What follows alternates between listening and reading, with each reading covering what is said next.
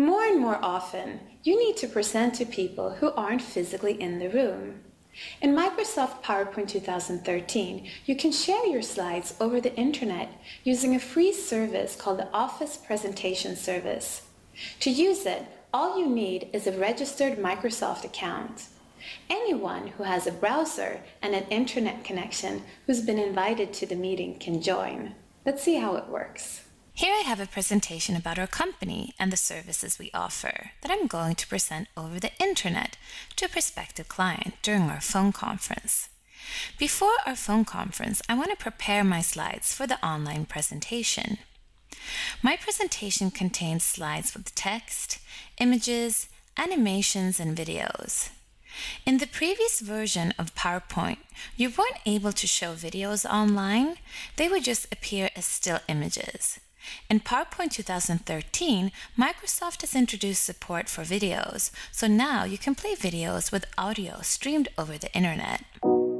Hi, I'm so sorry to interrupt. I just wanted to let you know that if you're annoyed by the ads in this video, you can access our tutorials ad-free by getting a subscription to businessproductivity.com or signing up for one of our many courses on platforms such as Udemy, CyberU, and Vimeo on demand.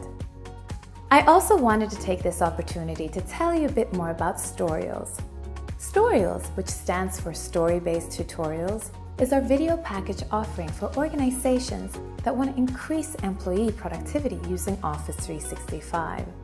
With Storyals, organizations can inspire, motivate, and educate users on effective use of Office 365 by showcasing real life best practices.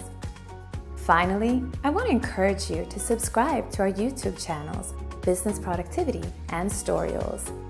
Here you will also find my video blog, Succeed in the Digital Workplace, as well as other videos that can help you increase your productivity. If you have any questions or comments, please post them here and I'll do my very best to get back to you. With that, let's go back to the tutorial. Thank you for watching. In this presentation, I have two videos. Both of them are rather short, so they should be okay. The videos can't be too large for online presentations. The videos should be in an MP4 format for them to play properly online. To make sure these videos are in a proper format, I'll click File and then Optimize Compatibility. This way, PowerPoint will make sure that the video format is supported for viewing online. I can see that the second video in my presentation was optimized. I'll click Close, and then I'll click Compress Media and select Internet Quality to see if I can reduce the size of my videos even more while keeping a quality that is sufficient for the internet.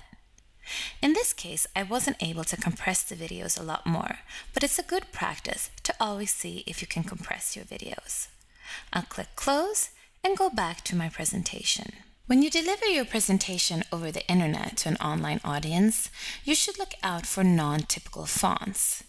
In this slide, I'm using a font that's not available in the PowerPoint web app, which is used by the Office Presentation Service to display the presentation to the attendees. If the font is not available, it will be replaced by another font, so the text in these speech bubbles would look like this instead. In order to ensure that your text looks exactly the same online as it does in your presentation, you can select to embed the fonts.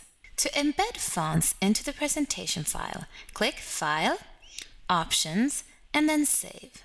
Scroll down to the bottom and mark the option Embed Fonts in the file. Leave the default option, which is to embed only the characters used in the presentation, and then click OK. Next time I press Save, the fonts will be embedded into the file itself. This won't work with fonts you've purchased that have restricted licensing rights, but it works fine for the fonts included in Office. On almost every slide, I have presentation notes. I want to share this presentation deck with my customer, so I want to make sure it doesn't contain any personal data. To see the document properties and to remove all the presentation notes from my slides, I'll click File. Here in the Info section, I can see all the properties of my document. There's nothing sensitive here, so I can keep the document properties. I do, however, want to remove the presentation notes. I'll click Check for Issues and then Inspect Document. Here I can select which property data I want to inspect my document for. I'll just mark all of the checkboxes to see what the presentation contains. Then I'll click Inspect. Here I can see that the file contains document properties and personal information and presentation notes. I'll click Remove All next to the presentation notes. Now I can safely share this presentation confident that it doesn't contain any sensitive data. There, now I'm ready to upload the presentation to the Office Presentation Service. To get started with the online presentation, click the Slideshow tab, Present Online, and then Office Presentation Service. Anyone who has PowerPoint 2013 and a Microsoft account can use this service free of charge. All the attendees need is an updated browser and an internet connection. Here you have the option to enable remote viewers to download the presentation. In addition to being able to download the presentation, the viewers can also step through the slides independently at their own pace. If you don't want your attendees to be able to download the presentation or view it independently, just leave this option unmarked. You're unable to change this setting once you've connected to the Office presentation service, so if you're unsure, it's better to leave it unmarked. I'll click Connect to start the upload of the presentation. I'll have to wait until the entire slide deck with the video and embedded fonts is uploaded and processed. Since this takes a while, it's good to do this ahead of time, before the start of your presentation. When the presentation has been uploaded, I'm given three different options for how to share the presentation. I'll copy the link, open up an email that I've already prepared, paste in the link, and send the email to my customer. In the top right corner of the screen, you can see what the presentation looks like for the online audience. If the attendees click on the link before I've started the presentation, they'll just see a black window with a text waiting for the presentation to begin. When it's time for me to start presenting, I'll just click Start Presentation. The slide is shown to the online audience, and depending on their internet bandwidth, there might be a slight delay. I'll right-click and select Show Presenter View so that I can get a better overview of my presentation.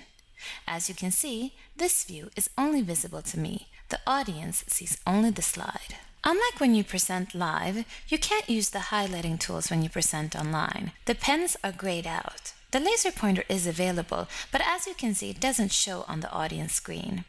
The other tools in the presenter view are available, so you can easily navigate your slides as you present. If you as a presenter move too fast for the online audience, they can easily go back and forth in the presentation by pressing the navigation arrows at the bottom of the slide or using their keyboard. Doing this doesn't interrupt the presenter or change anyone else's view. If the viewer wants to get back to the slide that you as a presenter is currently showing, they just click Follow Presenter. Whether or not you have given the viewers the ability to browse the slides independently, all viewers have media controls on the videos in the presentation so that they can play and pause the videos. At any time during the presentation, you can go to the top menu in the presenter view and click End Slideshow. This does not end the online presentation. Your audience still sees the last slide you showed them. If you need to add something to your presentation or edit the slides, you can do this during your online presentation. The audience will see the last slide you were showing. Here, I'll add an additional slide to make room for some questions at the end.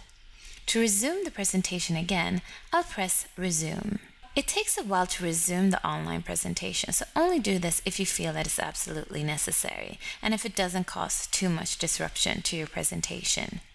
As you can see, the additional slide has been added to the online presentation without the audience noticing that you just inserted the slide. Before you end the online presentation, you should ask your online audience to download the presentation. They do this by clicking File and then Download. The full presentation with embedded fonts and videos will be downloaded.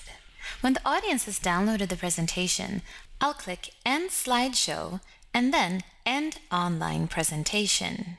I get a warning message saying that everyone who's watching will be disconnected. To confirm, I'll press End Online Presentation again.